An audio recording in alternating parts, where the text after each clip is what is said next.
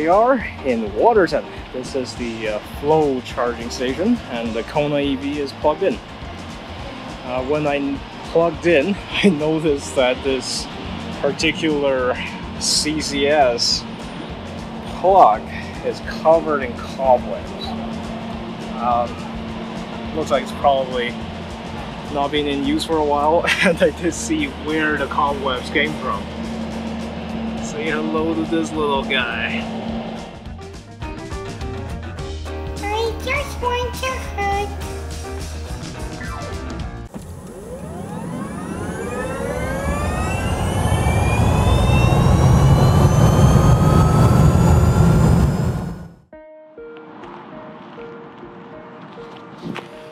Good morning everyone, welcome to Ready Steady Charge. My name is Solomon and today we are going on a very long road trip. We're going from Edmonton all the way to Waterton and coming all the way back. So it's going to be just over 1,000 kilometers in one day. There are two purposes to the trip today. One of which is to do a bit of a tour to see all the different DC fast chargers that are available in Alberta. Now, for this video, I am going to focus more on the trip and uh, the driving and the charging. I'm going to make a separate video going into details about each charging station type and uh, how to operate them and the pros and cons of each one. So make sure you're subscribed for that. The second purpose of this trip is to juxtapose what it's like to have a faster charging network to rely on uh, versus a slow one. So I want to compare this trip to our 3,000 kilometer road trip to Prince Rupert. And on that trip, we rely mostly on 25 kilowatt chargers, and those they're very slow. So this trip, we're gonna have a lot of 50 kilowatt chargers and we're going to have a few 150 and 350 kilowatt chargers. So those are going to make charging a lot faster and it's gonna make the trip go by a lot quicker. Now, needless to say, we're doing summer driving, so I'm going to pay attention to the battery temperature uh, throughout the trip. So we're starting with 27 degrees Celsius in the battery that's pretty warm and uh, that's because this is the ambient temperature. Uh, it's summertime and it's quite warm so we're definitely not gonna get any cold gating. The starting state of charge is 99% battery, basically a full battery. And our first destination is Cross Iron Mill, which is about 283 kilometers south of Edmonton. Um, it's gonna take about, I think, two hours and 30 minutes. So let's get started and we'll see you in Cross Iron Mills.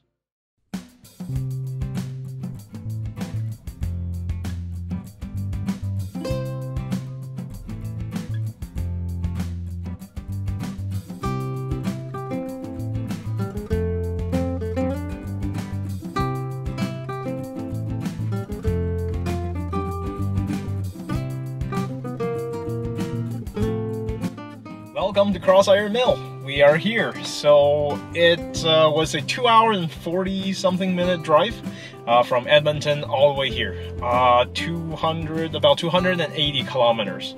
So it's a bit of a long stretch. So we're here, uh, we're gonna plug in and charge. So we have arrived with 21% battery. Uh, our consumption is 5.4 kilometers per kilowatt hour. That's pretty good. So um, I actually thought the consumption would be a little bit higher to arrive with a little less battery, but 21% is good. And uh, when we plug in, it's gonna be a good speed. So our battery temperature is 31 degrees Celsius when we arrived. That's a pretty warm battery, which means once we plug in, the charging speed should be pretty high. Now, how long do I have to stay here? Or how long do I have to stay here and charge? To answer that question, you need to ask yourself, how do you drive an EV fast? And that would uh, that would mean how do you charge fast? So it really comes down to where is it more worth it for you to wait? I am currently plugged into a really fast charging station 350 kilowatt petro canada charging station. It's so fast it's the fastest in fact. So it's worth it more to wait here until the charging speed drops.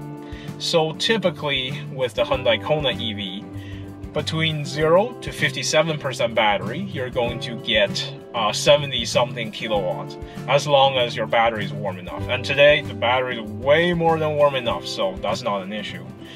Um, and from 57% to about 74 to 76%, the charging speed is 57 kilowatts. And the charging speed usually throttles down at about 74 to 76% battery. And what that means is it will go down to about 35 kilowatts. So the next stop I'm going to go to is Claresholm, which is 150 kilometers away, which is not that far. I don't need that much battery, probably about 40 to 50% battery is, is enough. But uh, the charging station at Claresholm is a 50 kilowatt charging station, which means it's worth it more to wait here while I'm on 70 kilowatts versus go over there and charge for longer, which is you know, a maximum of 50 kilowatts. So really, to drive an EV fast means you have to charge fast. And to charge fast, you need to know where is it worth it more to wait. Comparing the two charging stations, this 350 kilowatt Petro-Canada versus the Flo 50 kilowatt charger, it's worth it more to wait here and I'm going to charge until 74 to 76% battery whenever the charging speed goes down. And I'm going to unplug and go to Claresholm. And if you're wondering about cost, well, the cost is actually the same between a Petro-Canada charging station and a Flo charging station. The Petro-Canada station charges you about 33 cents per minute, and the Flo charger charges you $20 per hour. If you do the math, uh, it's basically the same cost. So if you wait an hour here versus an hour there, it's the same cost. But it charges faster here, so cheaper to stay here. Okay, we've been charging for a while. It's only been about 15 minutes of charging, and we're almost at 50% battery. So if I'm really in a rush, I'm good to go. Um, but like I said, it's worth it more to wait here, so we're gonna wait until the charging speed drops. Um, it's reached 70 something kilowatts, which is great. The battery temperature is getting a bit warmer and warmer. Uh, it is right now at 37 degrees Celsius. So 37 to 38 degrees Celsius, I find, is when the battery cooling actually kicks in. So any temperature below that, I don't hear the, the cooling system running. Okay, we have been here for 42 minutes. Uh, we're done charging. Charging speed had dropped, so we're good to go. Total cost is uh, $13.86. Alright, we're gonna unplug and uh, let's go.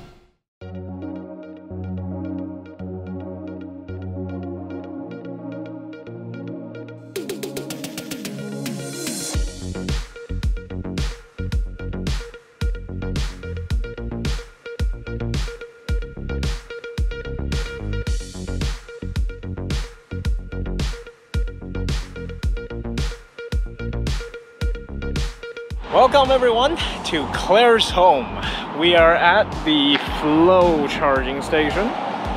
This is a 50 kilowatt charging station and we're gonna plug in fairly soon here. So we arrived with 43% battery, which is pretty good. The consumption was 5.7 kilometers per kilowatt hour. And uh, that's a little bit better than before, which is uh, welcome news. Um, the battery temperature is still quite hot. It's uh, 34 degrees, but it's good. Hot battery right now gets us good charging speed. So let's plug in and get charging. Okay, as you can see, I just plugged in and uh, we're charging. I'm probably gonna be here for about 30 minutes. I'm gonna go back up to about 74% battery where the charging speed goes down. Uh, then we'll have more than enough to get to Waterton. Uh, let's take a look at the surroundings. Now today's weather is not great because there's a lot of smoke in the air. This smoke came from uh, British Columbia and there's uh, there are some forest fires that's happening in BC and the wind carries the smoke over to Alberta. So I guess not the best day for sightseeing, but uh, we're not doing sightseeing really. We're just driving and charging, driving and charging and taking a look at all the charging stations. And by the way, there's a level 2 charging station here as well if you're staying in Claresholm for a while. Uh, yeah, both of these are paid. So I believe the level 2 charger is uh, $2 an hour and the level 3 charger is $20 an hour. We've been charging for a little bit, about 15 minutes. Uh, the state of charge of the battery has reached 66% and uh, charging speed is really good because well the battery is quite warm.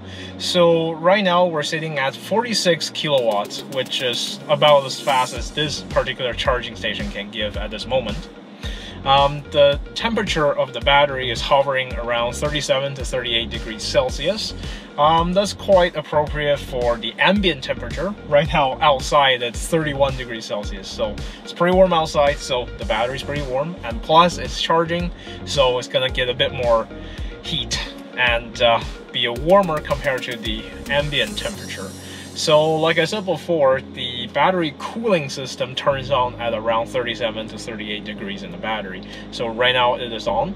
From what I've seen before, if you're charging off of a 50 kilowatt charger, it looks like the cooling will not let the battery temperature rise above 38 degrees. Um, I have seen once when I was charging at a 350 kilowatt charger, actually the same Petro Canada one, but on a different day, where while the battery is charging really fast, like 75 kilowatts, it's reached 41 degrees Celsius. And uh, the battery's cooling system is working, and the battery's charging speed did not go down when it is at 41 degrees Celsius. So I think at 41 degrees Celsius, it's not, it had not reached the temperature for thermal throttling.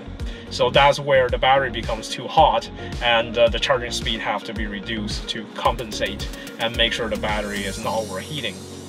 So it haven't happened yet at 41 degrees Celsius for the Kona EV. So I think that's pretty good. Um, having ambient temperature that goes anywhere close to 40 degrees is pretty rare here. Um, close to 30 degrees, yeah, that's fairly common. So it's good to know that the battery doesn't really need cooling until 37 to 38 degrees Celsius. And that's really hard to get with just ambient temperature. Alrighty, so I just unplugged and uh, we've charged to 78%. Um, the throttling of the charging speed actually happened at around 77% this time. So as soon as the speed dropped, I went and unplugged it. So next stop is Waterton, the uh, destination, well, the turnaround point. We'll go to Waterton and then we'll turn back. So Waterton also has a Flo um, 50 kilowatt level 3 charger. Uh, we're gonna go there and charge. And uh, the distance from here, Claresholm, to there Waterton is 140 something kilometers. So again, another one and a half hours. So we will see you there.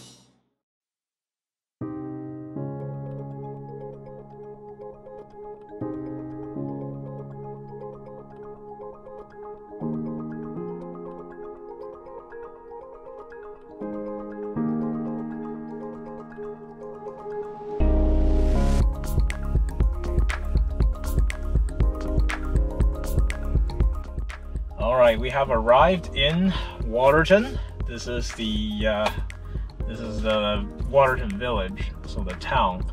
Um, we have some uh, charging stations here, and uh, you know there are a couple of level two chargers, and there's a one Flo 50 kilowatt level three charger.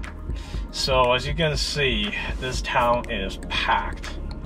Um, and what happens when uh, a place is packed with cars is um, EV dedicated parking spots are going to be taken up, and it's called ICED, stands for uh, internal combustion engine. So I'm gonna see if this Flo charger has been iced. It's very possible that it has been iced. So um, let's see what happens. Now, if the know, parking spot for the charging station is blocked and I can't get to it, um, that's okay. I'll just turn back. The nearest charging station, I guess the level 3 charging station, is in Pincher Creek, which is uh, not that far away.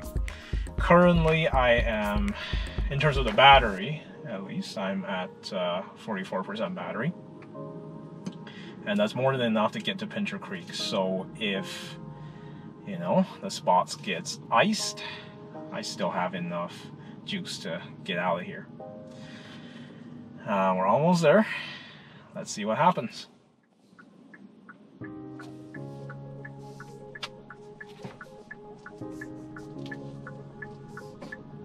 Okay, there's the Flo charger. Let's turn left.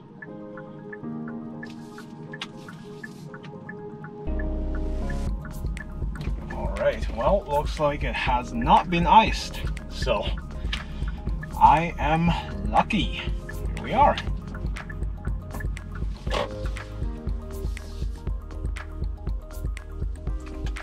We are here in Waterton, uh, right in front of the Flo charger, so I'm gonna go plug in. Now we've arrived with 43% battery, and uh, consumption is 5.7 kilometers per kilowatt hour, which is pretty good. Um, I wanted to do some filming outside, but it's pretty loud outside. Maybe I'll do a little bit of filming outside. But I'm gonna go plug in first, and I'll come back and uh, talk to you about how this trip is going so far.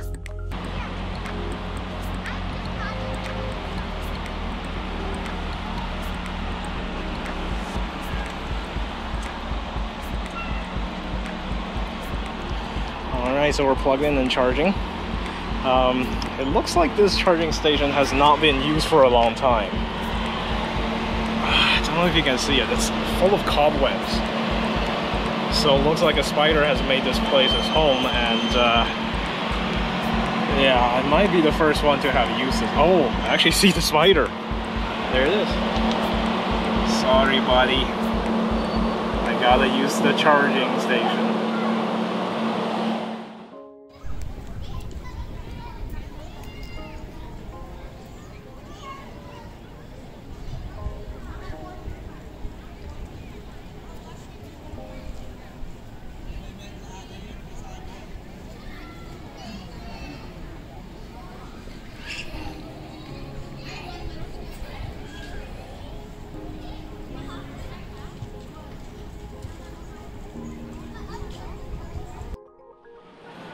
So this is another parking lot. It's actually pretty close to uh, pretty close to where the Flo charger is. The Flo charger is right over there. So that's where the Kona's parked. Um, we got some level 2 chargers here. So uh, two Tesla destination chargers and two J1772s. Again, it's uh, good to see that these spots are not iced. Um, let's go back to the Kona. I only needed to stay here for half an hour. I think we're almost done and uh, I still wanted to have some food so let's go back. I had a bit of a snack um, actually I had a sandwich. So we're almost done charging. Uh, the state of charge right now is at 75% um, I think I'm gonna let it go up to 80% gonna go for a bathroom break and then come back and we'll start driving. So the next charging stop um, because there's so many choices between here and Calgary, I think I'm gonna go back to uh, Claresholm and charge there because the charging station is right next to the road, like exactly next to the road. So I will spend a lot less time going to the charging station and coming back. Now, where I'm intending to go is actually to go charge at uh, Deerfoot Mall in Calgary. So there is a Electrify Canada there, it's uh, also, you know, up to 350 kilowatts. There are a couple of 150 kilowatts, and there's one 350 kilowatts. It doesn't matter which one I'm on, the Kona can only take about 79. So I wanted to go there, but it would take about, I would say 78% battery to get there. And if the consumption is still 5.5 kilometers per kilowatt hour. So what that means is I have two choices. One is to wait here for a bit longer. So let's say charge to 90% just to be safe so that I have some buffer. Or I unplug as soon as the charging speed drops, which is around 70, 76%. So what do I want to do? Now, the money saving way would be to unplug about now and uh, to just go to Claresholm plug in for about 10 minutes and then keep going.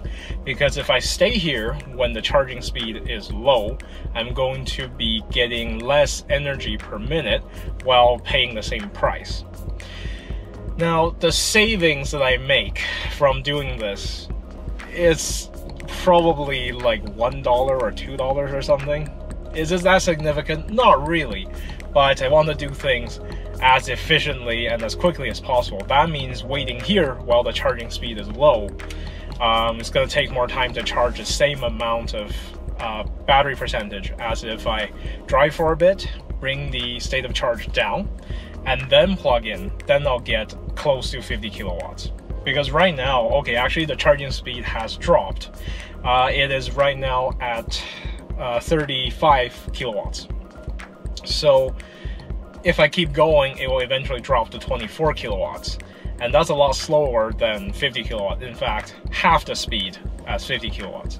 So I will unplug now. I will drive to Claresholm, just plug in for about 10 minutes, and then keep going to Deerfoot Mall.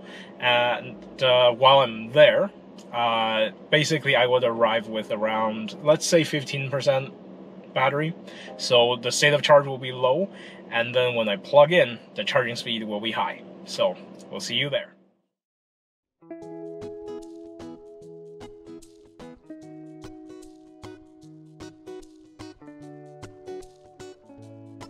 So we've driven for a while. Uh, we're about 75 kilometers away from uh, Waterton. So yeah, we've driven for almost an hour. And what I discovered was basically the consumption is really low.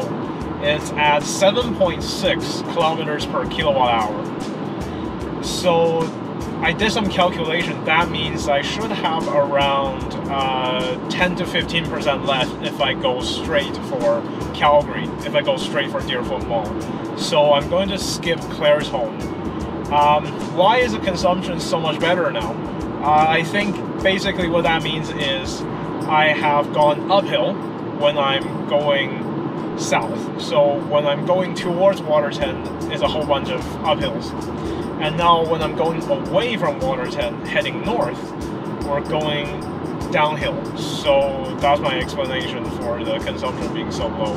Because previously, when I'm going to Waterton, it's 5.4 kilometers per kilowatt hour and now when I'm going the reverse, it's 7 point, well, 7.6, 7.5. So consumption is really good now, and uh, I think if I go straight for Calgary, uh, I'm gonna make it there with about uh, 12 to 15% battery, which is what I want. Uh, then when I plug into the Electrify Canada charging station, uh, I should get a fairly good speed. So let's do that.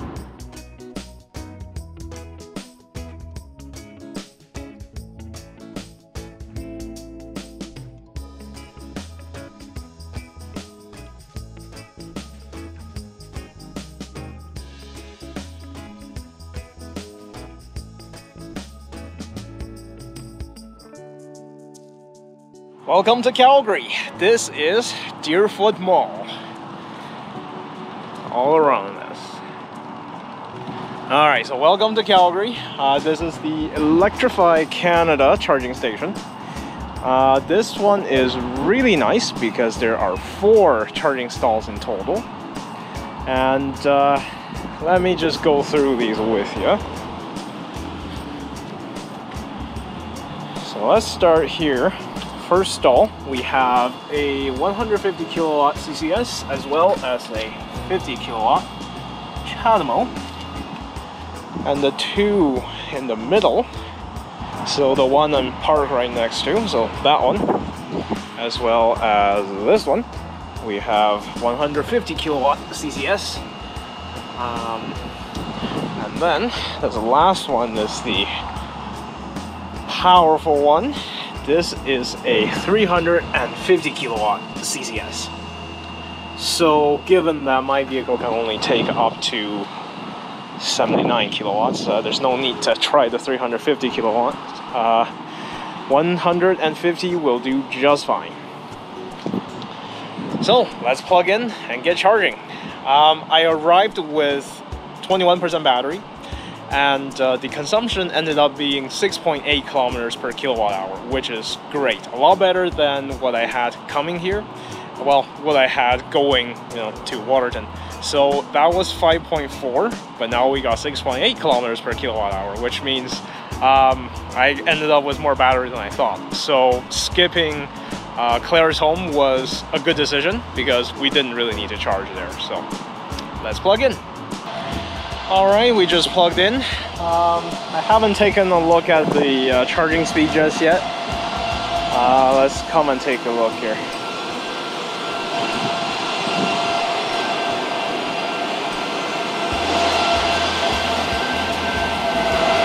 Huh, it says 33 kilowatts. That does not seem right.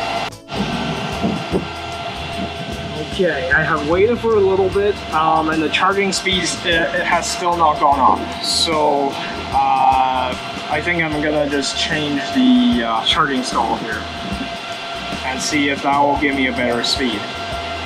Uh, one of the theories I have of why this could be happening is uh, right now ambient temperature is 33 degrees.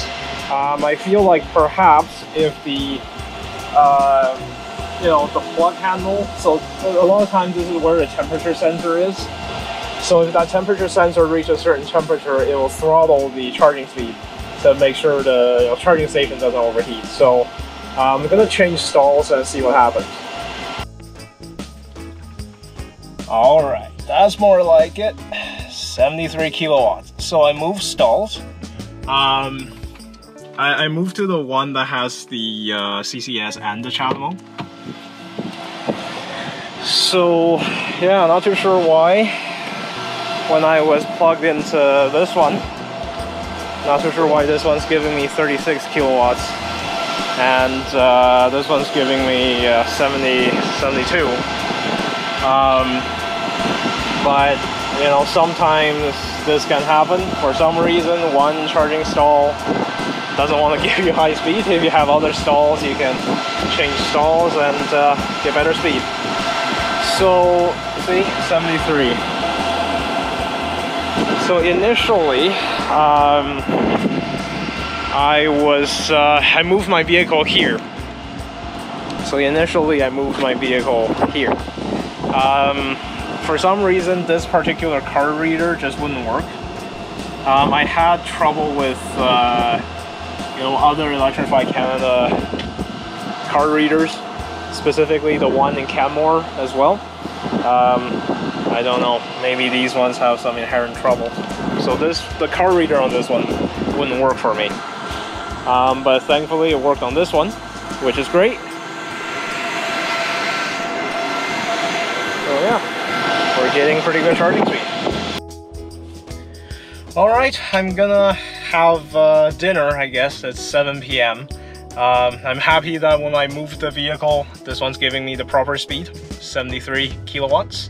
So I'm gonna be here for about 35 minutes and uh, that will get me to about 80%. So my plan is to charge 80% and then head north, leave Calgary. Um, yeah, once I'm done charging or close to done charging, I'm gonna tell you what my next steps are. Well, we're still charging. Uh, it's only been about 11 minutes since we started charging, so there's another 24 minutes to go. While I wait, I'm having some dinner. So salad is for dinner. Um, trying to be healthy, and uh, I'm using chopsticks to have my salad. Apparently chopsticks work pretty well as a salad. Um, don't know if you ever seen this, but uh, yeah, chopsticks work very well.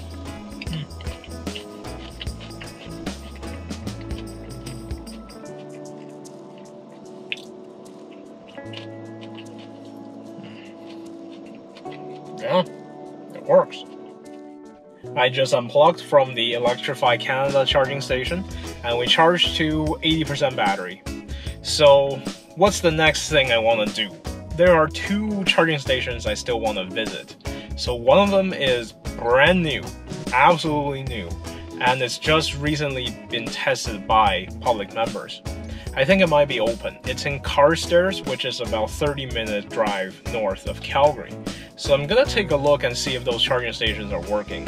If they're working, I'm just gonna try them out. I'm not gonna stay there and charge because right now with 80% state of charge, um, we don't need to charge there. And after that, I was actually planning on charging in uh, Red Deer uh, at the Shell gas station. So they have a 50 kilowatt charger there. So I want to see first if the Carstairs uh, charging station is working, and uh, then I'll go to Red Deer and charge. And Red Deer will be my final charging stop before I get to Edmonton. So let's go.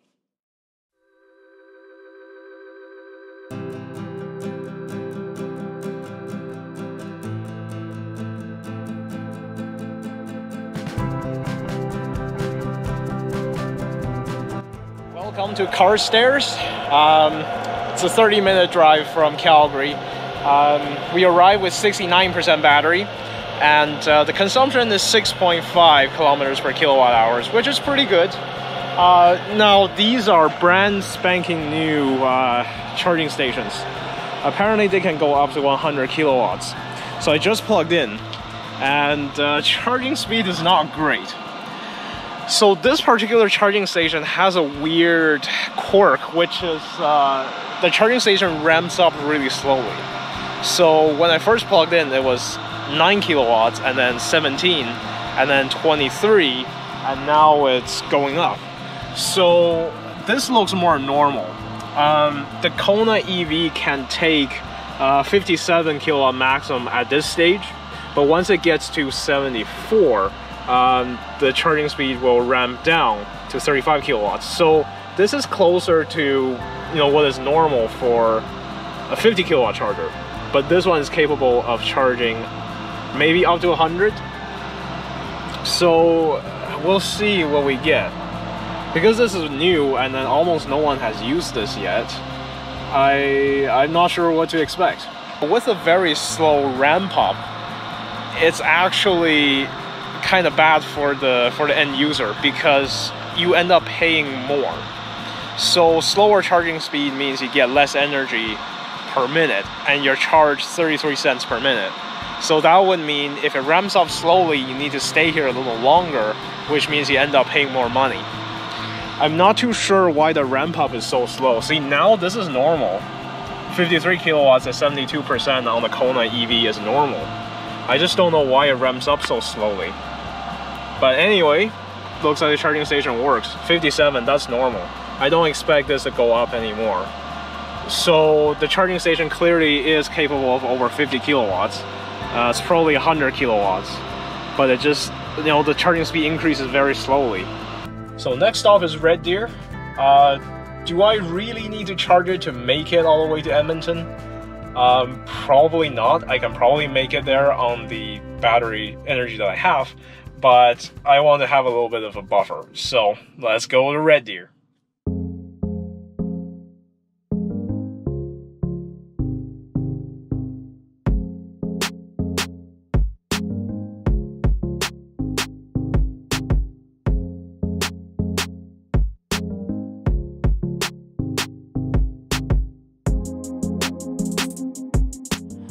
Welcome to Red Deer. This is the gasoline alley and this is the Shell charging station. So this is a 50 kilowatt DC fast charger and as you can see I'm plugged in and charging. So this one um, has to be activated with the Greenlot app and unfortunately the Greenlot app is very, well, it's not very good. Um, it wasn't very clear whether or not I activated the charging station. Um, turns out I did. And it stopped it started charging when the app didn't show that it's been activated. So it's all kind of weird, but it's charging, so that's great. So I've arrived in Red Deer with a 54% battery. And uh, basically the consumption is 6.3, which is still pretty good. Um, did I really have to charge here? Um, not really. According to my calculations, I only need about 45% to get to Edmonton. But, uh, well, I would only have about 9% buffer, which is a little bit, you know, uncomfortable.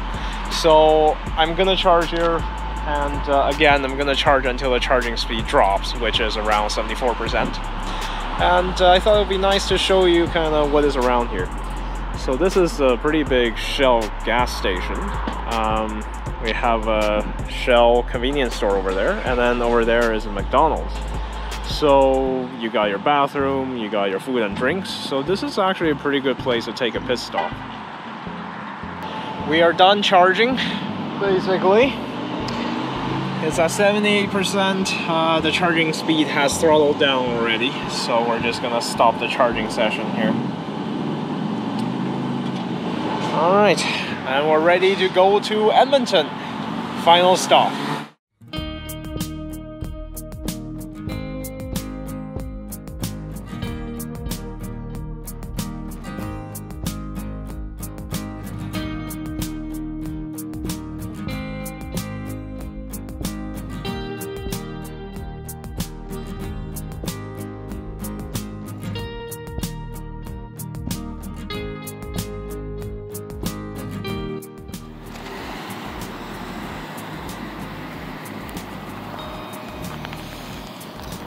boy, we made it back.